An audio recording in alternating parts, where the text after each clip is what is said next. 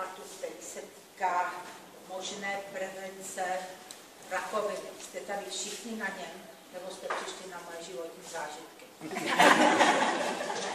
Já jsem rakoviny naštěstí ještě neměla. Ahoj.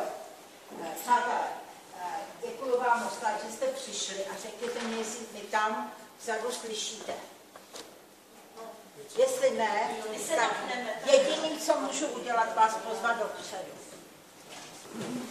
Židli a posunte se. A vy tam děvčata ne?